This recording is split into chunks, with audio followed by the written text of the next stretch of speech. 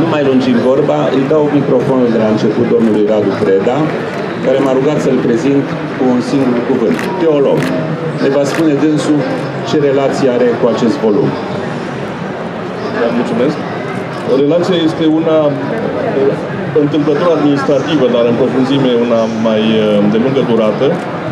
Vremenic ocupă un post uh, în fruntea Institutului de Investigare a Crimelor Comunismului și Memoria Exilului Românesc, care este un organism guvernamental care se ocupă tocmai de ceea ce vedeți dumneavoastră la televizor cu procesul Vișinescu. Adică suntem instituția care face cercetările în vederea trimiterii în judecată a posibilor uh, torționari. De-al în săptămânile următoare să facem uh, publice, publice și alte nume. Uh, institutul are ca menire legală inclusiv sprijinirea unor astfel de, de cărți, iar despre această carte pot spune că este unul dintre acele tipuri de, de suporturi, de sprijin care, care mă bucură pentru că știu că se duce banul unde trebuie. Cartea ilustrează un paradox dramatic al ultimilor noștri 25 de ani, că știm foarte multe, excesiv poate a spune unii, foarte multe despre victime, dar foarte puțin, excesiv de puțin despre uh, cei care le-au făcut posibile această schizofrenie între, între numărul de mărturiilor celor care au suferit de pe urma comunismului și numărul foarte mic, penibil, jenant de mic, de, de vinovați care până acum au fost uh, dovediți ca atare, arată că suntem încă la, la începutul a ceea ce am putea numi generic procesul comunismului. Nu vă ascult, ascult faptul că uh, mărturile acestea sunt cam ultimile sau sunt penultimile nu, nu spun cu cinismul biologiei, ci o spun cu tristețea unui om încă tânăr dorit să vadă în România actul justiției în funcție. Acum, noi suntem într-o situație uh, albă-neagră, cum de-al știm cu toții, în care, iată, uh, câteva săptămâni în urmă, Procurorul General al României a anulat toate neînceperile urmărilor penale date în dosare legate de crimele comunismului. Este o veste care a trecut oarecum neobservată de mass media cu tumultul campanii electorale, dar pentru prima dată în ultimii 25 de ani, uh, uh, justiția română, uh, mai cu seamă în, în latura ei militară, că e vorba de, de, de, de parchetele militare, nu mai au dreptul să desconsidere dosare și dovezi privitoare la crime comise în timpul comunismului. Este o veste bună. Eu sper ca ea să fie urmată de procese reale. Însă, până la procesele reale, avem o chestiune practico-teoretică. Ce ne facem atunci când atât victime cât și făptașilor nu mai sunt în viață. Procesul comunismului, tocmai pentru faptul că a fost amânat, s-a depersonalizat. Nu mai avem părți în, în, în sensul judiciar al termenului. De aceea întrebarea deloc retorică este vom mai avea vreodată un proces al comunismului de anvergură în absența părților, în condițiile în care numărul victimelor uh, scade dramatic. Iată, sunt 3.000 de decese pe an dintre, numărul, dintre cei care au fost, într-un fel sau altul, direct uh, sau indirect, prin faptul că au fost urmași unor, unor dețiuni politici, mor uh, în fiecare lună, așadar. Deci avem o masă testimonială care scade, paralel cu masa uh, criminalilor, trebuie să-i spunem, să le spunem pe nume, care, care mor și ei, nu? Până și uh, criminalii aceștia au o, o scadență biologică și atunci întrebarea, repet, deloc retorică este cum ne vom putea imagina un proces al comunismului în, în absența persoanelor care să-i dea chip. De aceea eu cred că e momentul să reluăm în discuție chestiunea ideologiei comuniste, pentru că nu întâmplător toate tentativele de a condamna ideologia comunistă au ieșuat.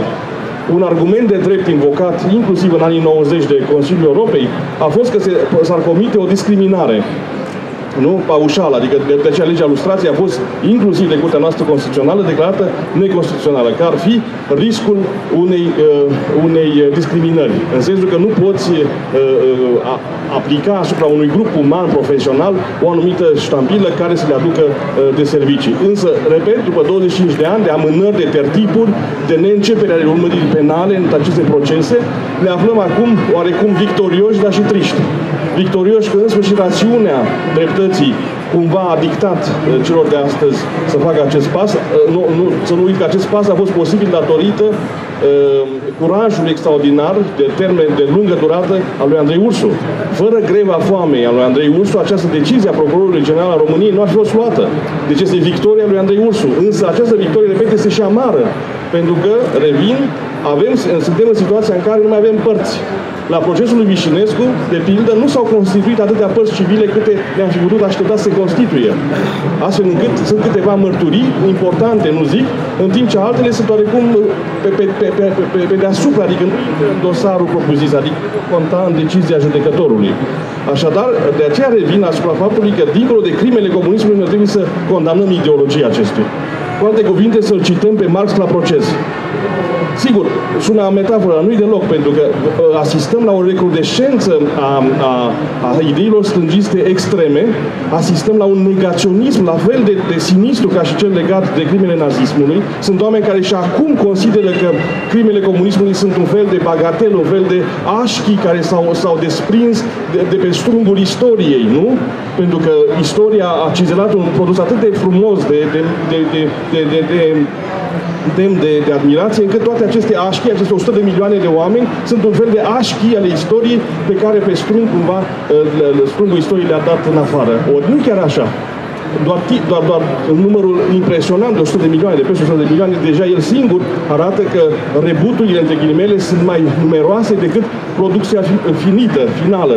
De aceea, a, a, a, te, a, a interoga uh, ideologia comunistă, în ce măsură ea este astăzi uh, scutită de orice fel de responsabilitate, este o întrebare de bun simț a eticii noastre publice.